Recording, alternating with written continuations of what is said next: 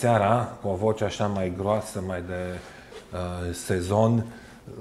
Începem Timișoara Culturală cu uh, prozatorul Bogdan Munteanu, absolvent de automatică și calculatoare și uh, autor uh, de proză, mă rog, scurtă, cum se zice, de povestiri în general. Bogdan, tu ai absolvit automatică și calculatoare în 2002. În 2002 și salut, Tudor. Te salut. Uh, acum, sigur că ăsta e un parcurs mai rar printre scriitori să vii de la o secție a Politehnicii de la Universitate, o facultate mai precisă a Politehnicii. Probabil că ai mai fost întrebat. Cum, nu că ar fi vreo minune sau vreun miracol sau mai știu eu ce, dar cum s-a întâmplat? Tu, practic, cum ai început să scrii? Că de obicei scriitorii vin din partea aia o alte diplome. Nu că diploma însemna mai lucru în materie de artă propriu-zisă. Eu am început să scriu prin 2009 și terminasem de șapte ani automatica, lucram într-o corporație, uh-huh. lucrez și acum într-o corporație. Însă am început să scriu în urma unei călătorii pe care am făcut-o la Sighișoara. Um, citeam Orbirea de Elias Canetti, da. unul dintre cele mai mari romane care s-a scris deodată, după părerea mea. Și din senin mi-a venit și mie să scriu. Să descrie nu, momentul nu știu dacă așa. e din senin. Da. Că de fapt nu e niciodată din senin. Nu, Faptul că e brusc că... denotă o coacere subterană, să zicem. O coacere pentru că am, mi-a plăcut întotdeauna să citesc și cred că arma cea mai uh, tăioasă, bună sau da. cea mai tăiasă înainte de a începe să scrie este literatura pe care ai citit-o până atunci. Așa pățesc și eu, cu sau fără ghilimele a păți, în momentul în care, să zicem, citești și atingi cota aia sau depășești cota aia de încărcare cu, cu, cu, cu lectura propriu-zisă, scrisul exact. cel mai adesea vine cumva automat, vine ca o continuare să firească a faptului că ai citit. E ca o încărcare a bateriilor, în tot în termeni electronici vorbind. Bun, Caneti, Sighișoara, călătoriile au fost poate uh, pretextul, da? da? În spate au fost lecturile pe care le-am uh, avut până atunci. Și am mers în primul bar, am cerut un, uh, un pic și o foaie și am început să scriu. Am scris câteva pagini, m-am simțit foarte bine, mi se părea că mi-am găsit și eu un hobby la 30 de ani, uh, când îmi ieșiseră primele fire albe de păr în cap și Aia a fost. A Bun. doua zi am, uh, am scris din nou și mi s-a părut că mi Tot se într-un bar sau unde? Da, am continuat, am continuat într-un bar, poate în același, nici nu mi-aduc aminte. Cert e că mi-am păstrat obiceiul și uh, fac treaba asta și acum. Deci ești un tip de scriitor uh, care cultivă, să zicem așa, scris în locuri publice, în cumva. Locuri publice, da. În zumzet de albină, viespe, de varii da, în vari zumzete, cum s-ar spune. Ulterior am încercat acasă. Este o aplicație care imită zgomotele, care imită zgomotele dintr-o cafenea. Și n-ai reușit. Și n-am reușit, bineînțeles. E o păcăleală. E o păcăleală. Culmea acum, ca într-o proză absurdă, ar fi fost să fi pus și umbrele în cameră, să fi pus măsuțe în jur. Și aici putea să fie... Să-ți fi adus uh, cineva o, un, o băutură cu pai, un cocktail, ceva. Am dezinstalat aplicația și am fugit din nou într-o Și ai fugit, da. Uh, bun, și uh, acum asta e și mai meteosensibil cumva, nu că e statul pe terase uh-huh. și așa mai departe, dar acum în general cum scrii? Că nu poți scrie totuși doar în locuri de astea. Um, înainte de a scrie, îmi fac, îmi fac turele prin oraș. Îmi place foarte mult să mă plimb și să observ și să aud conversații și să întâlnesc personaje. De obicei mă ajung în locuri mai puțin uh, uh, frecventate, să zic. De, uh, cum ar fi? Cum ar fi cartiere mărginașe, uh, terase, bodegi, Așa. care dau de personaje pe care care nu fac parte în general din viața mea și ele cumva uh, sunt cele mai predispuse să livreze povești. A fost automat. Bun, și asta cum automat. se întâmplă? Că, de exemplu, ajunge să văd pe cineva și uneori asta e un declic în sine, ca și când imaginea unei persoane, chipul unei persoane, ar declanșa o poveste fără să auzi, să culegi, cum să spune, sau fără să afli povestea respectivă. E ca și cum o fotografie ar declanșa un film. Da, Asta adică... se întâmplă în cafenea, poate o remarcă sau un chip da. pe care îl asociez cu cineva din trecut, fără să-mi dau deci seama. mai mult o declanșare decât faptul de a culege povestea, adică da. de a auzi, de a transpune, de a... Putem să spunem și așa. Ulterior, după ce scriu o povestire sau un fragment, da. uh, încerc să mă gândesc de ce uh, am scris de ce am creat acel personaj și de ce l-am pus într-o anumită situație. Câteodată îmi dau seama și câteodată e foarte enervant că nu reușesc să-mi dau seama. Și poate chestia asta vine după câțiva ani. Adică uh, explicația. Explicația, da. De ce, de ce ai scris textul ăla așa? Da, și devine, adică după o anumită perioadă de timp, e evident de ce am pus un anumit personaj într-o anumită situație. Și asta răspunsul apare atunci când apare necăutat, ca un exact, pop-up. Exact.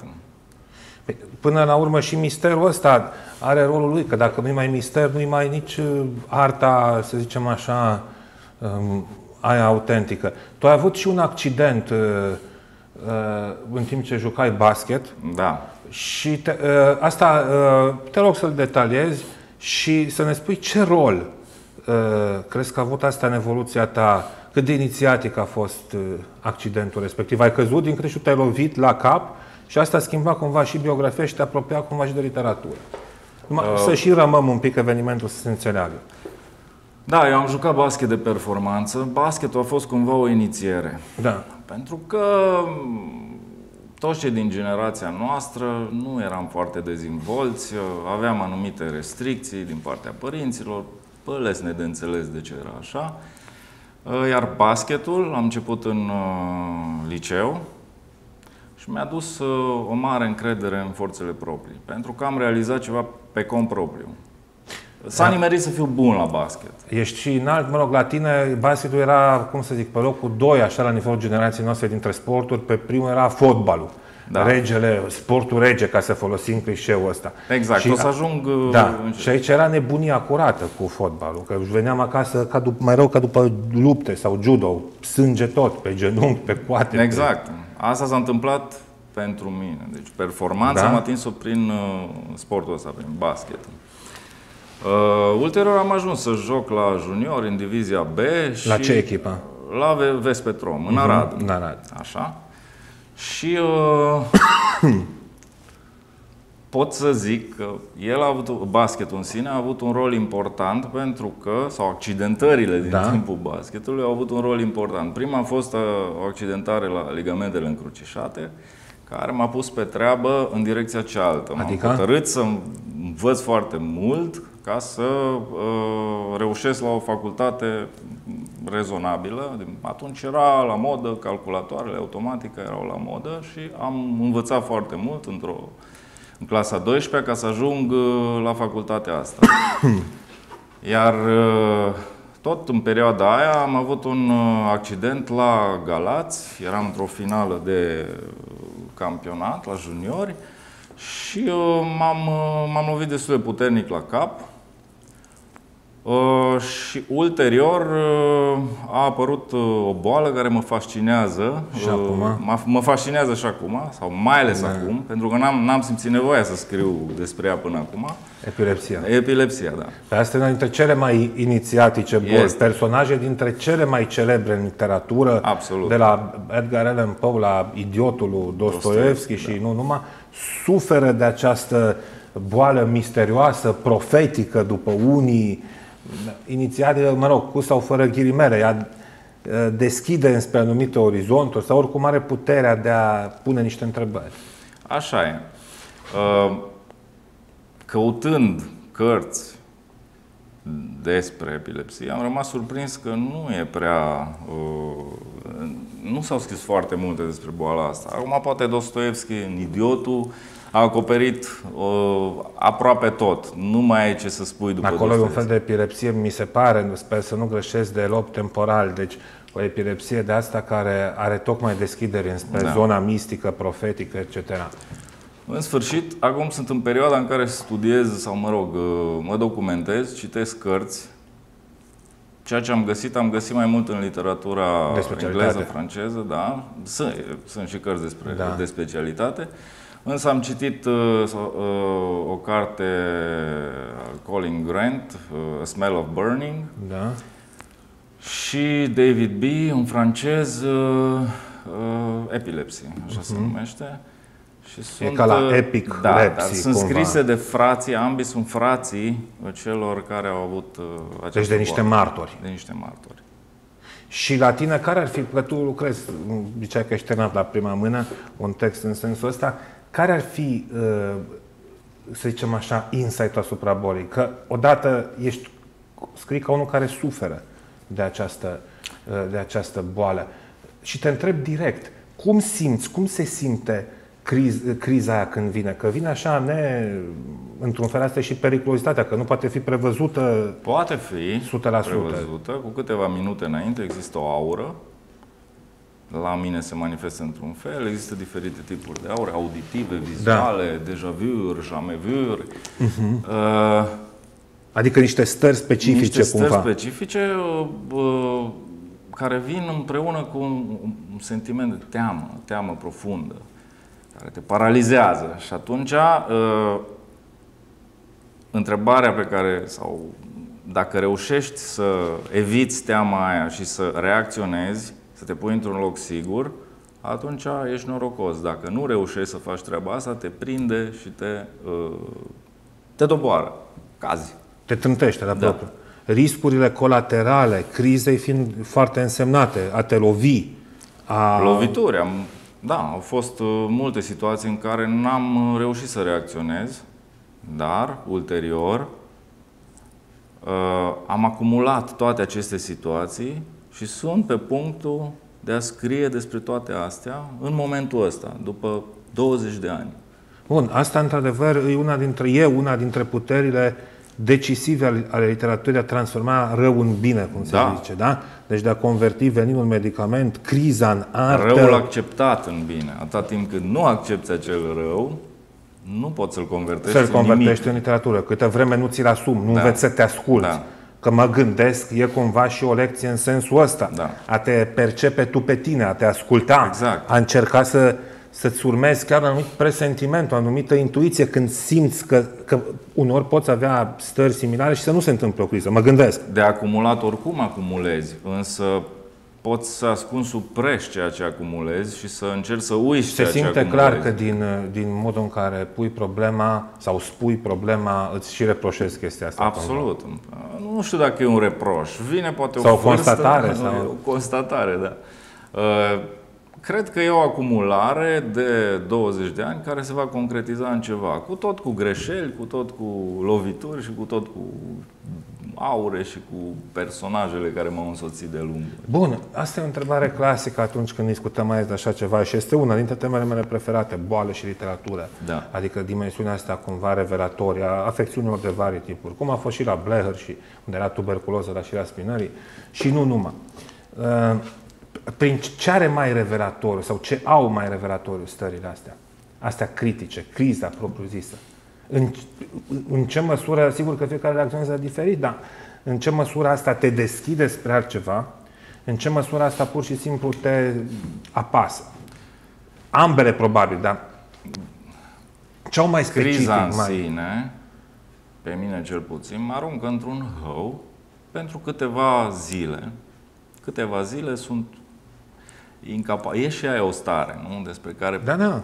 se poate scrie.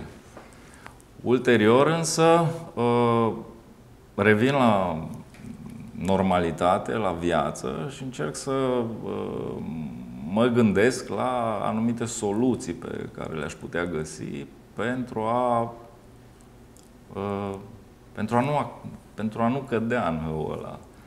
Pentru a nu mă lovi pentru a nu. Deci sunt uh, încercarea de a uh, uh, asculta boala. Boala devine un fel de psiholog, îți spune foarte multe lucruri despre tine și îți spune cum ai putea să reacționezi. E și un ghid, într-un fel. Da, e un ghid. E un urs care apare și care uh, te poate sfătui. Stai de vorbă cu ursul, de fapt. Da, ursul care Atât ți timp cât, uh, cât ești deschis că înspre da, el. Da. E can basme, proba aia, ursul care ți la în pod, nu? În, uh, la capătul podului uh, în față și uh, în proza la care lucrezi, are un titlu asta despre epilepsie? Nu m-am gândit încă, nu, la un titlu. Asta vară am început să scriu și am zis cu o poftă foarte mare, lucru care nu mi s-a întâmplat, nu mi se întâmplă de obicei.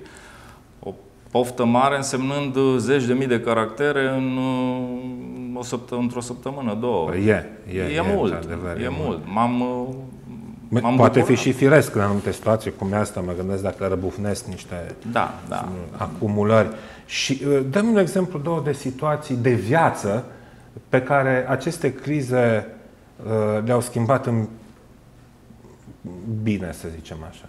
Deci situații care te-au făcut pur și simplu să râzi sau de deschideri pe care ți le-a dat. Pentru că mă gândesc că uh, proza asta se bazează pe întâmplări, nu? Pe, trebuie să aibă o concretețe aici. Absolut. um, am râs de multe ori, după crize. Da? Eu încerc să culeg toate datele despre evenimente. Le noteze? Eu nu Încerc... Tu nu, tu nu da, n-ai memoria atunci, vie a ce s-a întâmplat. Eu atunci, da, eu atunci sunt într-un blackout, da? dar uh, există martori de obicei. Da. Și încerc să culeg toate datele de la cei martori, întrebându-i de zeci de ori dacă e nevoie și uh, uh, rețin aceste date. Uh, spre exemplu, sau de exemplu, O situație amuzantă a fost uh, ultima oară când uh, m-am accidentat. Eram cu câinele la plimbare, da. îmi duceam câinele la plimbare uh, și uh, am fost pozat în timpul crizei de către un individ care, după ce a sunat salvarea, salvarea a venit, nu a venit omul, m-a pozat dintr-un bloc. Dintr-un dar bloc, a și chemat salvarea. A chemat salvarea, dar nu a ieșit din casă decât după ce salvarea a venit. venit. După ce existau martori, da, după, după ce era clarificat și contextul. soția mea era prezentă deja și a venit omul și a arătat poza. Uite-l. Și Bun, dar tu erai deja eu eram înconjurat de medici? De... Nu, în poză nu. În poză ah. eram, da, da. eram întins și cu câinele lângă mine. Câinele apărea în poză. Câinele care de obicei fuge când îl scap din lesă sau așa. Ei, atunci a stat lângă mine apărea în poză. N-a plecat. Ori eu când am terminat criza, neștiind absolut nimic, l-am luat și am, m-a condus spre casă. Câinele, efectiv, a fost și el, a avut rolul lui de a te duce. Câinele poate deveni un foarte bun narator. Da, da, da, da, un foarte bun personaj. Da. Însă, spune, prin sensitivitatea lor, cum, prin felul în care îi simt unele lucruri, cum se știe, de exemplu, că pot simți sau presimți cu tremurele, să zicem, da. sau că au o anumită mă rog, alt tip de senzorialitate. Și... Amuzant e că omul nu a ieșit decât amuzant într-un fel, pentru că e trist. Pentru că toate astea spun mei. și despre felul în care, nu doar despre felul în care tu reacționezi, nu? într-o situație de criză, ci și despre felul în care cei din jur, da. câinele inclusiv, reacționează într-o situație, uh, într-o situație de genul ăsta. Și... E multă literatură aici. Dacă ai înclinație. Și cum te-au făcut astea? Te-au făcut mai curajos, mai liber, mai confruntările cu stările astea? Cum, cum te-au schimbat pe fond? În toate aspectele. Poate că sunt mai curajos acum decât eram înainte de a accepta uh, uh, da. boala. Da? Poate că sunt mai curajos. În unele situații mă simt mai curajos. Mai înarmat, cu ghilimele. Da.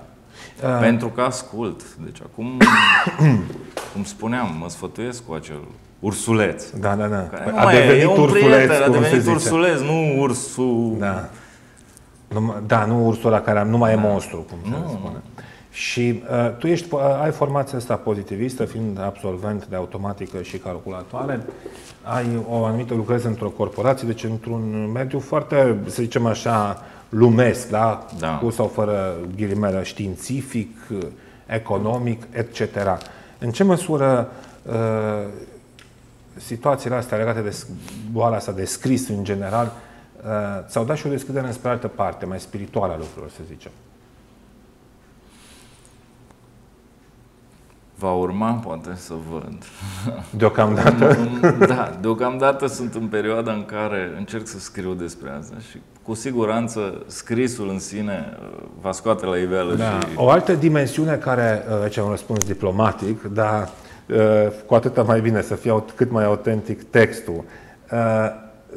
O altă latură a biografiei tale asta de corporatist, scriitor corporatist. Da. Astea sunt, mă rog, câteva din fiecare, în jurul fiecare este un set de clișee, mai mult sau mai puțin de percepție. Ești angajat în unei corporații, asta zic comparații. Din câte știu eu, urmează să ții un an liber pentru a te putea ocupa mai mult de scris, inclusiv de, de zona asta. Ehm, lucrul ăsta în, în corporații, întrebarea e de fapt foarte previzibilă.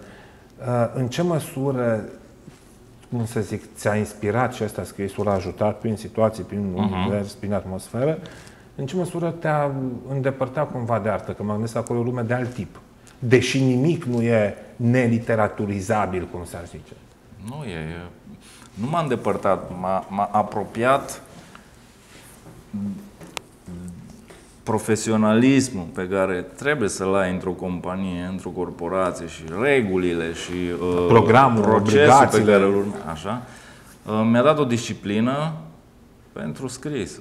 Deci eu până când n-am realizat cât de mult se aseamănă disciplina pe care ar trebui să o am în scris cu disciplina pe la care lucru. am învățat-o da. ani de zile și o aplic la, la muncă, n-am, uh, am, am n-am devenit un profesionist, deci de la bun început, evident.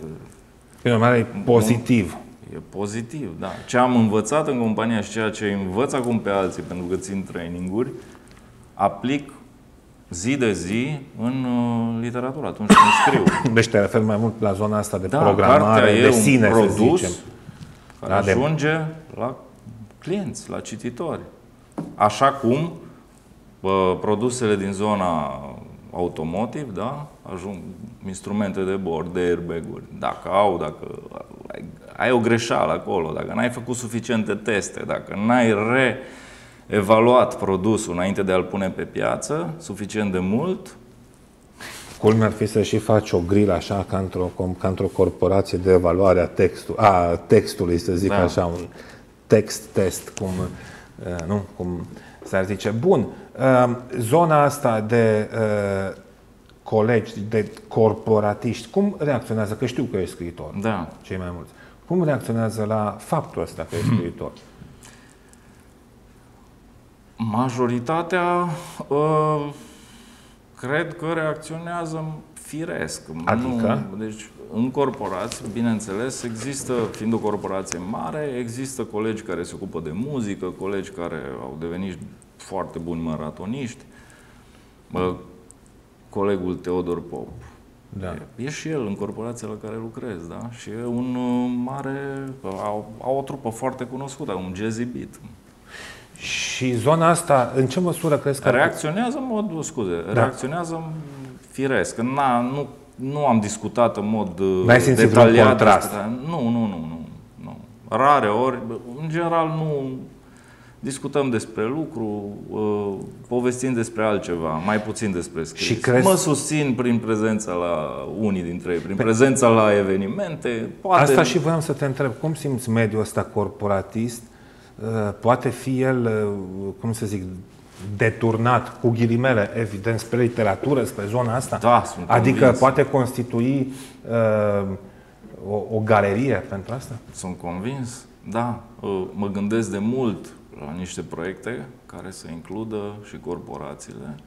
Realizate acolo, inclusiv ca să prinzi oamenii acolo, la un loc? da, să... pentru că e un program de 8-9 ore, destul de obositor, pe care oamenii merg spre case, se retrag spre casele lor și poate nu mai au uh, uh, suficientă energie să se, uh, să se ducă la anumite acțiuni, la evenimente. La... Deci e un program destul de dificil. E... Și uh, ideea ar fi ca acțiunile culturale să desfășoare Acolo, exact în cadrul. La fața locului. Asta e părerea mea. Păi e un principiu de organizare în evenimentele culturale clară, adică uh, faptul că atunci când prinzi cumva programul de lucru ai un fel de acces mai direct, mai organizat, da. mai clar cumva uh, la mese mai mese, îmi cer scuze, mase mai compacte, mai mari de de oameni. Plus poți să faci anunțurile intern, poți să uh, prinzi oamenii, poți să îi atragi prin uh, exact din interior, prin în măsura în care devii și tu ca scriitor un fel de personaj, ceea ce și ești Da.